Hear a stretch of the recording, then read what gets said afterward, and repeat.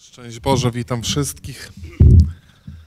Mieliśmy okazję wysłuchać wielu ciekawych interpretacji papieskiego dokumentu, od interpretacji według klucza myśli Tomaszowej, po aż interpretację krytyczną papieskiego dokumentu, teologii czy filozofii krytycznej, czy poetycką interpretację języka, języka papieża Franciszka. Niewątpliwie jest to dla nas okazja do refleksji nad, powinna być to dla nas okazja do refleksji nad własną świętością też, moi drodzy, bo to pewnie do tego ma zmierzać, y, do poszukania narzędzi do tego, jak siebie uświęcać. I ja tu chciałbym też jakiś taki klucz interpretacyjny może na początku tego panelu dać, mianowicie jest nim prostota. To, co mnie uderzyło w lekturze papieskiego dokumentu, to prostota świętości. Przez cały dokument mamy tutaj taką swoistą prakseologię świętości, kiedy papież pokazuje nam, jak zostać świętym, to odwołuje się do bardzo prostych rzeczy, do bardzo prostych sytuacji, tak jak ta pani na targu, która nie chce plotkować, tak? To tak, taka jest droga do świętości, jak mówił chiński myśliciel Lao Tse, nawet najdłuższa droga się rozpoczyna od pierwszego kroku. No właśnie te małe kroki, myślę, że to też jest zgodne z myślą Jose Maria Escrivy. Jeśli przeczytamy sobie Drogę czy Kuźnię, to zobaczymy tam te małe kroki właśnie, tą teologię szczegółu. Y, no właśnie, małe, bo każdy może je uczynić, bo każdy może być świętym. Tutaj każda komplikacja by ograniczała pewnie tą liczbę potencjalnych świętych, a jest to wezwanie powszechne, jak słyszymy. Teraz zapraszam do zadawania pytań, czy prelegentów względem siebie, czy, czy tutaj proszę o pytania z sali. Ja myślę, że ta prostota jeszcze pokazuje nam, moi drodzy, kwestię pokory bardzo wyraźnie. To mamy w pierwszym błogosławieństwie zresztą. Bez, bez pokory pewnie nie zrozumiemy dobrze tych tekstów o, o pelagianizmie czy o pysze intelektualnej, e, ponieważ dzięki pokorze można zostać świętym, można zdobyć wszystko, a przez pychę można utracić wszystko, nawet największe dary Ducha Świętego czy, czy siłę Ducha Świętego. Bóg zapłać, zapraszam do dyskusji. Ja jeszcze może powiem jedno słowo, zanim się co zacznie. Tak słuchając tutaj, y, przypomniałem sobie Jana, Jana Kantego, który był pokorny, pobożny, pracowity i tak dalej, i tak dalej. Natomiast y, z, z, tymi małymi gestami i krokami, o których y, czytamy, to, to, sprawa jest dość dyskusyjna, ponieważ z jednej strony to jest piękny tekst o tych małych gestach. Młodzież w Nazarecie, którą ja uczę, układa taką Allora Song, to jest y, taka, taka pieśń, która jest do, do fragmentów z tej adhortacji. Bardzo pięknie to robią, więc ja jestem fanem tego fragmentu, ale uświadomię Państwu jedną rzecz, że mały gest czy duży gest, nie ma to znaczenia jeżeli idę małymi krokami w złym kierunku, to dalej idę w złym kierunku. Ja Państwu pokażę jeden mały gest. Super. Ten sam mały gest środkowym palcem, też super. No nie. Czyli jakby ta, ta prostota, człowiek jest bardzo skomplikowaną e, konstrukcją, jest też bardzo prosty. prosty. I, i jakby inaczej, e, Miguel de Unamuno, nie wolno nam komplikować rzeczy prostych i upraszczać e, skomplikowanych. Nie patrzymy przez lunetę na pierwotniaki, a przez mikroskop na konstelacje. Wiedzą Państwo, do czego zmierzam. Że jakby do wszystkiego jest odpowiednia proporcja i, i miara. Natomiast trzymam się epitetów. Y, te fragmenty z tymi małymi gesta, gestami, one są naprawdę urocze. Ale to jest właściwy epitet, one są urocze. Natomiast nie wierzę w to, że one mają tak dużą siłę, że zmieniają człowieka, który to, kto, który to czyta. Ja e, powiem o tym, że oczywiście najpierw trzeba wiedzieć, w jaką stronę się idzie, czyli celowość e, i ukierunkowanie. I to jest normalnie w teologii moralnej, ale i w biblistyce znane słowo epistrefo, czyli nawrócenie. Czyli odwrócić się trzeba i wybrać kierunek. Nie kierunek świata, ale kierunek, co tamten świat, Bóg, szczęśliwość. Nie szczęście, tylko szczęśliwość. Nie kres, tylko cel. Bo to można po prostu zamienić. Czyli moim zdaniem wielkie pomieszanie jest w tym, w tym, w tym użyciu różnych pojęć. Więc Tomasz ma epistrefo, on to nazywa nawróceniem, czyli konwersjonę, ale potem trzeba zrobić co dalej? Trzeba zrobić metanoję, czyli renowację, czyli epistrefo i metanoja, czyli wybrać ten właściwy kierunek, przy nim trwać i potem się w ramach tego kierunku odbudowywać. Bo to jest właśnie, bo czasami mówimy, że nawrócenie to jest jedna rzecz. I nie, są dwie rzeczy. Kierunek, czyli to apropriacja i imitacja. Czyli mamy tę rzeczywistość podwójności, ale kiedy już wiemy dokładnie, jaki obraliśmy kierunek. Chciałem jeszcze troszkę dopowiedzieć, że czytając tę adhortację papieża Franciszka, yy, próbowałem taki klucz przyjąć trochę za świętym Ignacym Jolą, żeby wyciągnąć pożytek duchowy dla siebie. Yy, czyli yy, rzeczy tam zakładając, że chodzi o dążenie do pełni życia w Bogu, do świętości, czytać poszczególne fragmenty właśnie w takim kluczu, żeby doszukiwać się czegoś, co może mi osobiście pomóc. I ze zdziwieniem odkryłem, że pewne fragmenty nawet przydały mi się na osobistą medytację, na modlitwę, bo na przykład, y, tu akurat ten fragment nie wziąłem, mówiąc o tych małych gestach, ale tak sobie też pomyślałem, że ktoś, kto niewiele miał do czynienia y, z jakimś głębszym życiem duchowym, nagle może zobaczyć w różnych sprawach sobie nie radząc, że no może od czegoś zacząć. To jeszcze nie jest świętość, że, że jeżeli się powstrzyma od odmawiania, ale jakiś tam maleńki krok y, może mu dać tą nadzieję, że coś tam jednak w tą stronę y, może popchnąć. W każdym bądź razie myślę, że kiedy się przyjmie pewien klucz, także chociażby właśnie taki, że chcę, skoro dążymy do świętości, chcę przez ten pryzmat patrzeć, czy mogę coś dobrego z tego dla siebie wyciągnąć, z tych tekstów, to wiele wydaje się, że można dobrego. Oczywiście y, wiadomo, że, y, że są rzeczy, które bardziej przemawiają i te, które więcej rodzą pytań, ale generalnie tak chciałem się podzielić swoim takim doświadczeniem tego tekstu, a dopowiadając jeszcze do tego, co mówiłem w perspektywie kardynała Wyszyńskiego, wskazałem przede wszystkim na zbieżności różne, bo chodziło o to, czy jest jedna świętość, czy różne, ale wiadomo, że akcenty są różnie rozkładane i drobne różnice też by się znalazły, ale to już będzie w artykule.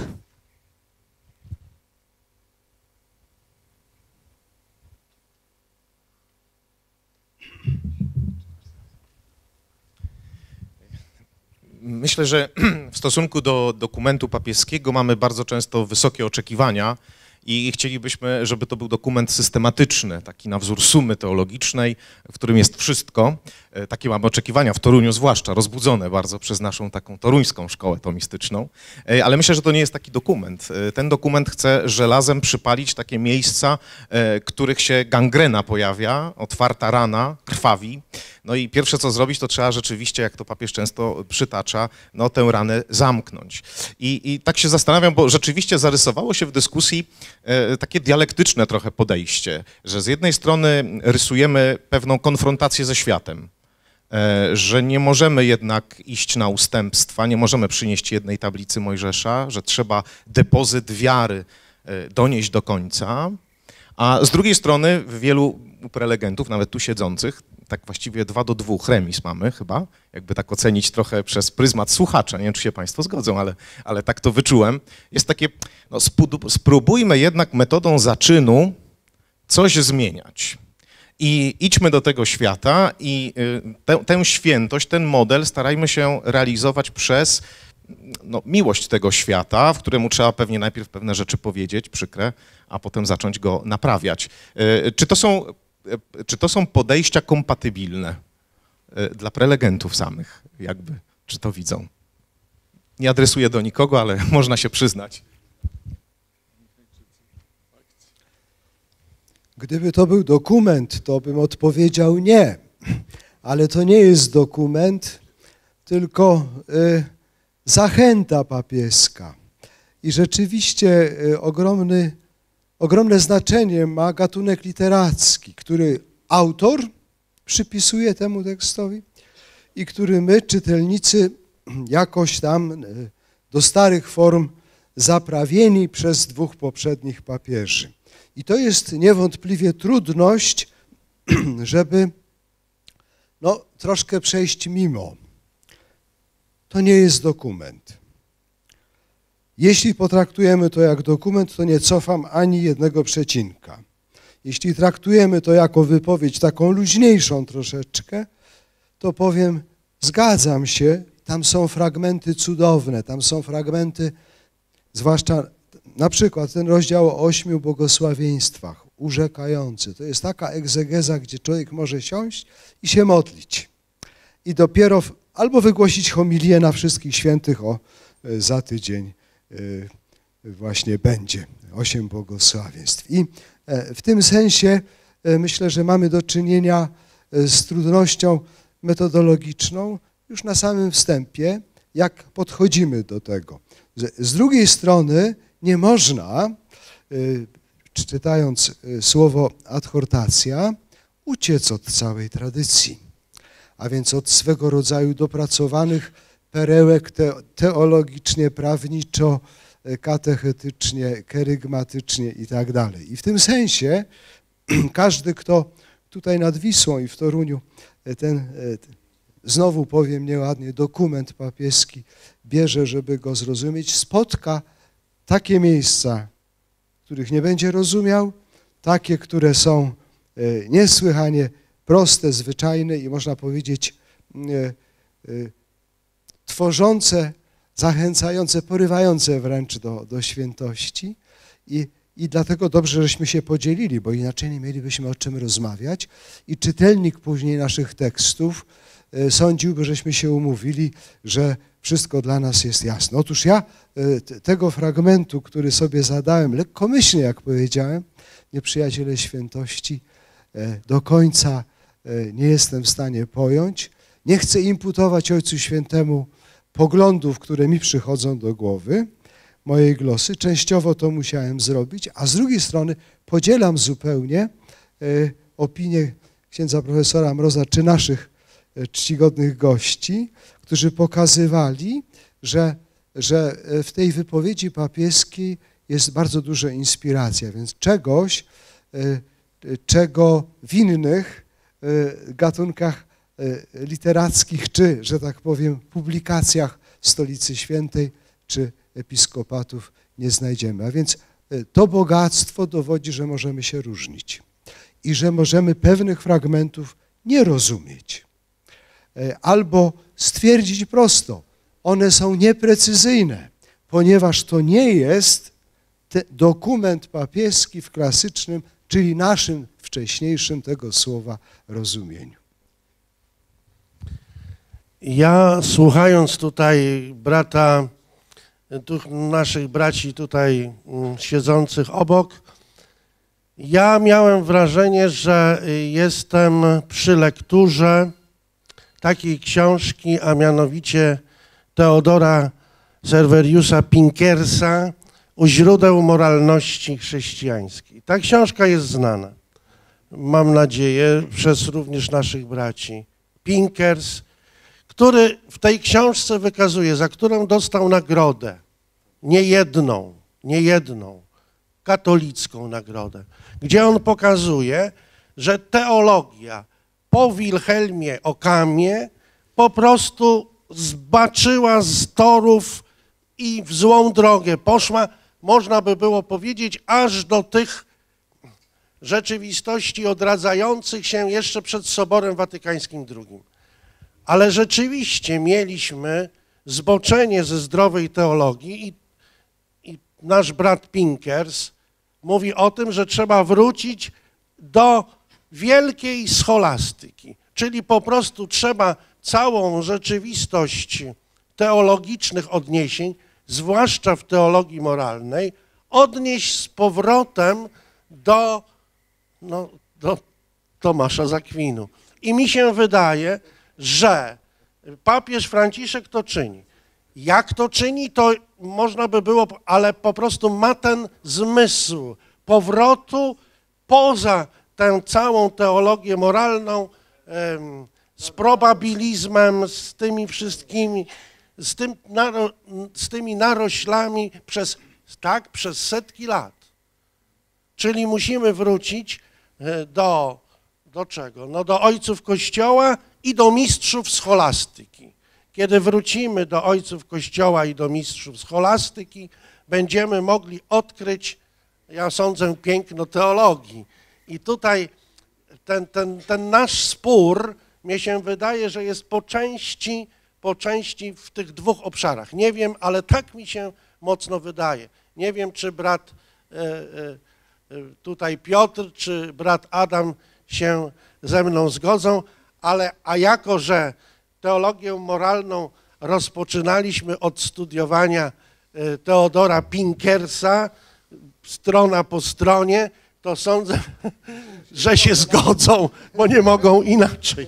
Każdy absolwent seminarium toruńskiego i Wydziału Teologicznego w Toruniu na pewno wie, że najkrótsza droga do świętości to powrót do Tomasza Zakwinu. Także. A propos jeszcze tej, tej, tej, tej prostoty, to nie wiem, czy rzeczy wielkie nawet dzięki niej nie są możliwe do wykonania. Taki przykład z tym wietnamskim kardynałem to pokazuje, czy, czy tej Bakhity, która, y, która w sposób prosty i dziecięcy zawierzyła, nie? W obliczu no, rzeczy straszliwych, a więc wielkich. Y, Bez tego to chyba się nie da jednak, bez, bez pewnej takiej ewangelicznej prostoty dojść do świętości, ale można próbować. Ja czuję się sprowokowany. Profesor mówiąc na temat tekstu powiedział, że wiele tam jest przemilczeń albo niedopowiedzeń, że y, adhortacja zawiesza głos. Z tym milczeniem jest y, mnóstwo różnych kłopot- kłopotów. Ja pójdę w kierunku poetyckim, żeby z miejsców zejść. Natomiast może być milczenie, które jest dowodem ignorancji. Milczę, bo nie wiem. Może być i, takie milczenie, że wiem, ale nie powiem. Sami sobie rozwiążcie rebusy. Może być milczenie mistyczne, że mam tak wielką pokorę, że, że, że no nie de, no, jak twierdzę, pisze to, y, dosłownie wypowiada się mówiąc o piekle słów. W tym sensie, że to, co próbujemy zwerbalizować, jest tak nieadekwatne do rzeczywistości, że lepiej byłoby się ugryźć w język. Natomiast ja nawiązuję do tych niedopowiedzeń, ponieważ słuchając tu referatu księdza profesora, pomyślałem o naszym polskim y, milczeniu. Jest ten brak czy niedomówienie Norwida. Gdybyśmy wzięli Cypriana, Norwida posadzili i dali mu do, do czytania adhortację, to ciekawy jestem, co on by powiedział. Bo tam jest y, u niego w Prometidionie wielka definicja świętości, pod którą moim zdaniem Franciszek by się podpisał. Norwid pisze, e, piękno na to jest, by zachwycało do pracy, praca by się z martwych stało. No to tam mamy właśnie i wysiłek, i łaskę, i nie ma ucieczki przed, przed tą prostotą piękna. Ten człowiek, który jest wielki, ale nie udajmy, że jak robi świństwo, to nie jest grzeszny. Bo my w Polsce jesteśmy w bardzo teraz trudnej sytuacji, ponieważ już niedługo nikt nie będzie czytał Franciszka, tylko będziemy słuchać interpretatorów. Jak pogadamy z ludźmi z Deonu, usłyszymy coś innego niż Polonia Christiana, a wydaje mi się, że na tym też polega bycie ojcem, tu mówię ojciec święty, że wypowiada takie, tak potrafi mówić i tak milczeć, że następuje rodzinne pojednanie, ani że wypowie słowo i zaczyna się jakaś awantura. To, jest zupełnie nie w tym kierunku. To jakby po- podchodząc do tego klasycznego Roma Lokuta, że powiedział papież i wszyscy wiemy o co chodzi, mówimy znakomicie, a nie odwrotnie, że dopiero zaczyna się mnożenie interpretacji, kłótnie, wojny, że moja teologia jest lepsza od twojej teologii. No to, to tak to my tego kościoła nie zbudujemy.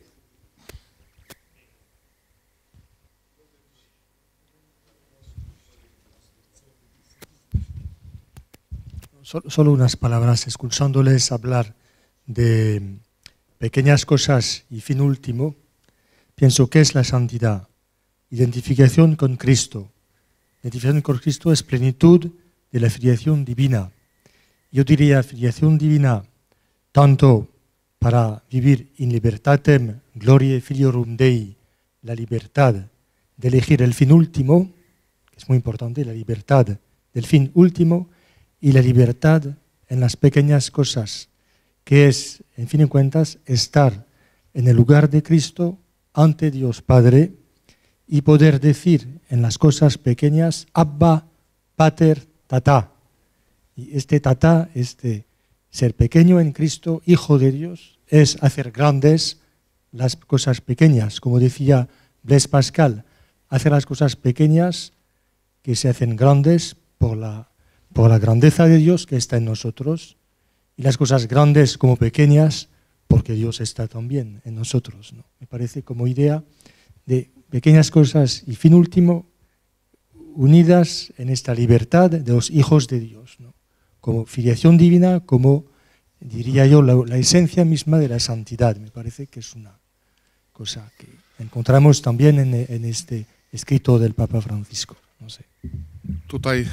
Profesor Derwil pyta, ale jednocześnie podnosi tutaj jedność z Chrystusem chrześcijanina, która czyni, e, czyni nas właśnie wybierającymi ten cel najwyższy, o którym profesor Mróz mówił, e, która y, czyni także możliwym uczynienie rzeczy małych wielkimi właśnie poprzez Chrystusa i poprzez przyjęcie w jakiejś mierze naszej małości, no to właśnie ta jedność z Chrystusem ma to sprawić w nas. A więc świętość jest no, tą jednością przede wszystkim by była w tym głosie. Synostwo, synostwo też y, jako bracia Chrystusa i usynowieni w Chrystusie. Ja będę starał się odpowiedzieć w ten sposób, że ten termin łaska, czyli gracja, tak jak to rozumie Tomasz z Akwinu, on jest przejęty oczywiście od świętego Pawła przez y, świętego Tomasza, bo on tym najbardziej operuje, a Tomasz komentował wszystkie listy Pawłowe. Więc jest termin gracja, który jest gracja, czyli y, łaska Ducha Świętego dana wierzącym w Chrystusa. I, ale ten termin gracja, y, no co ma za, za zadanie? Przenieść dzieło Chrystusa w obecny czas dla mnie, ale też według zamysłu Ojca. Czyli w tym terminie gracja, w tym pojęciu gracja zawiera się zamysł Ojca, zawiera się dzieło Syna i moc Ducha Świętego. Jeżeli my wyłączymy jakąś sekwencję, czyli po prostu zamysł Ojca, czyli tego, co jest Abba, wyłączymy rzeczywistość Chrystusa, bo to jest Jego dzieło, mocą Ducha Świętego, no to będziemy mieli tę całą rzeczywistość jakoś e, no, sfragmentaryzowaną. A właśnie słowo łaska jest po to, jedno słowo, żeby te wszystkie rzeczy nie powtarzać cały czas.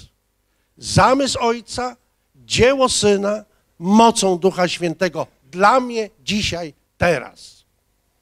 I to jest, uważam, ta, ta trynitologiczna e, kwestia u świętego Tomasza bardzo ważna. I, i to oczywiście mocą łaski mam możliwość dojścia do świętości, łaski Ducha Świętego. Ale którą tą łaskę wysłużył Chrystus? Według zamysłu mojego taty, mojego ojca.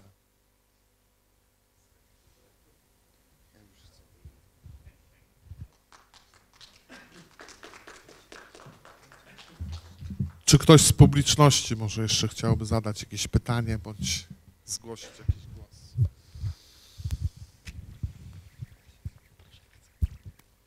Dziękuję ślicznie. Ja również mam pytanie do e, księdza profesora Mruza. Bardzo dziękuję za tą bardzo potrzebną e, e, bardzo ciekawą też prezentację i za to staranie, żeby pokazać, że świętość nie musi być i nie jest czymś uciążliwym. I pytanie jest takie dosyć praktyczne, powiedziałabym, w duchu papieża Franciszka, trochę i z perspektywy nauczania o świętości teologii moralnej, i z takiej perspektywy bardzo praktycznej towarzyszenia osobom y, w drodze do świętości. I to pytanie jest takie. Y, Ksiądz powiedział, że miłość czyni świętość najłatwiejszą z łatwych dla tych, którzy kochają. I ja bym jeszcze dodała, i dla tych, którzy czują się kochani to znaczy, którzy mają to doświadczenie miłości. Oczywiście nie mówię o miłości, o doświadczeniu miłości sentymentalnym, immanentystycznym, takim doświadczeniu po prostu osoby, która wie, że jest kochana.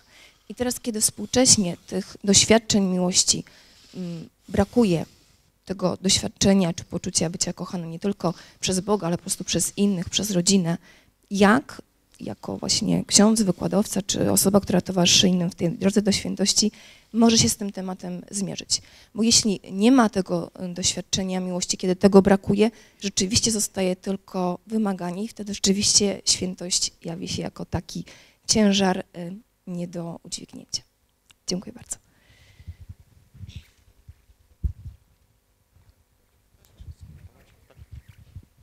Odpowiem w ten sposób y, też y, bardzo prosty, a mianowicie istnieje w relacji wzajemnej, tak? Tak jak to istnieje między e, wierzącym a Chrystusem, istnieje ta connaturalitas, czyli ten, i, i to jest e, rzeczywistość niesamowicie, ta zbieżność, tak jak jest e, gleba i ziarno. Glebą jest Chrystus, a ja jestem ziarnem, który mam możliwość być zakotwiczonym w tej glebie. I, I, ja nie mogę być glebą, ja jestem ziarnem, który może paść w tę użyzną glebę, jaką jest, jest Chrystus. Ale też można powiedzieć w innym sposób, że istnieje taka bezpośredniość naturalna i bezpośredniość łaski. Tutaj było wspomniane na przykład ta wędrówka, e, ta wędrówka e, brata Abrahama na górę Mojra, żeby zabić tam Izaaka. Ten przykład używa także Tomasz Zakwinu i pyta się, dlaczego musiał Abraham pójść na tą górę i zabić tego swojego syna, czy no, nie zabić, ale po prostu próbować, ofiarować swojego syna. I Tomasz odpowiada, nie, on musiał zabić w sobie bezpośredniość naturalną, czyli ten swój bezpośredni stosunek ziemski do swojego syna, że on widział tego Izaaka jedynie jako, jako dziecko swojej mocy, a on miał zobaczyć jako dar Boga. Więc nie, on nie zabija właściwie y, Izaaka, czy ofiaruje Izaaka. On musi ofiarować swoje naturalne ojcostwo na, na co? Na ołtarzu ojcostwa łaski. I, I to jest wszędzie, i to jest w małżeństwie, i to jest w relacjach, że jeżeli nie będzie tej bezpośredniości nadprzyrodzonej, wynikającej z łaski, czyli ta relacja łaski jako pierwsza. Ja jeżeli ja nie zabiję w sobie tego, że ja sądzę, że to jest wszystko z mojej własnej siły, tak jak Abraham myślał, że on właśnie przez to zrodzenie swojego syna, on jest ojcem. Nie, ty nie jesteś ojcem. Ojcem jest tata w niebie. I to, i, i, i ta rzeczywistość, powiedzmy, budowania relacji jest u bazy drogi świętości. Jeżeli nie zrozumiem, że, że mam to wszystko z zamiaru Ojca, przez Syna, który wypełnił ten zamiar dla mnie, mocą Ducha Świętego obecny dzisiaj, no to, a to wszystko jest w tym terminie łaska.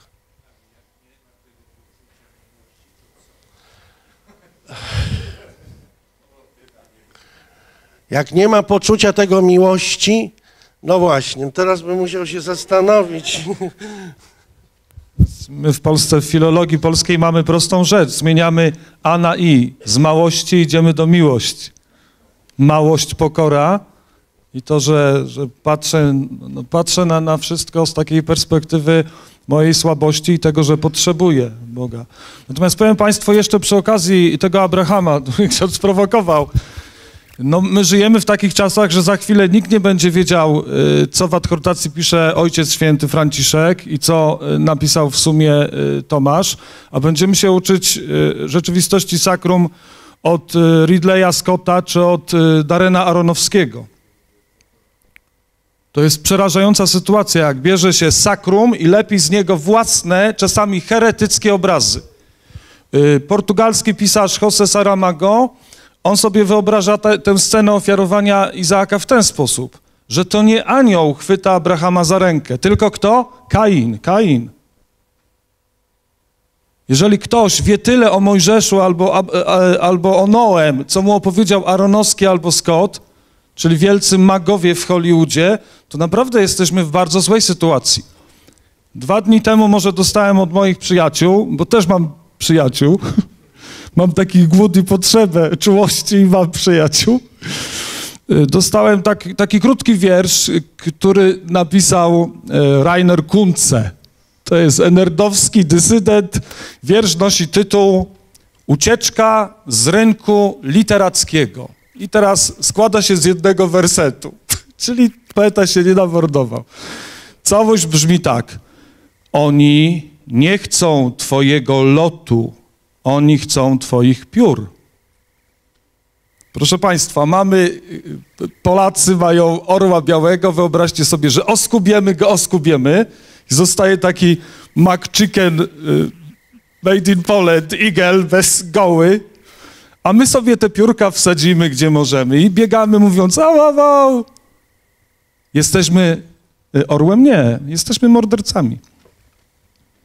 To jest, żyjemy w świecie postsekularnym, nie, w świecie, który, no postsakralność, postreligijność, wszystkie te rzeczy post, no naprawdę, jeżeli człowiek nie budzi się, nie ma w sobie ducha wojownika, który staje w obronie świętości. Ja czytałem niedawno XIX-wieczne kazania naszych zmartwychwstańców, pisane na emigracji w Paryżu.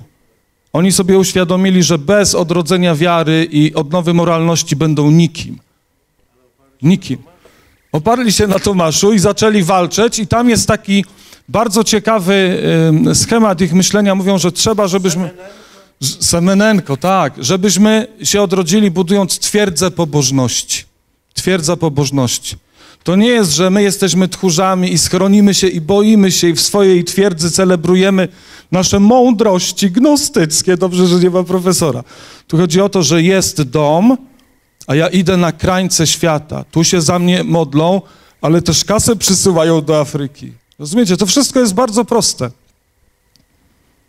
To, to wystarczy przeczytać uważnie Biblię, systemy binarne i, i wtedy wszystko to działa. A jeśli nie, to jesteśmy w, jakoś, w jakimś dziwnym, postmodernistycznym sosie.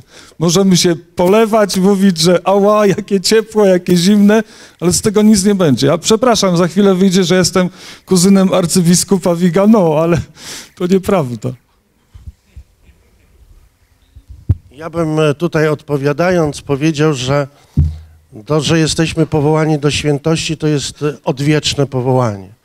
Tylko pytanie, dlaczego to ktoś nie słyszy? No, no musi umyć uszy. No proste, no trzeba iść do spowiedzi.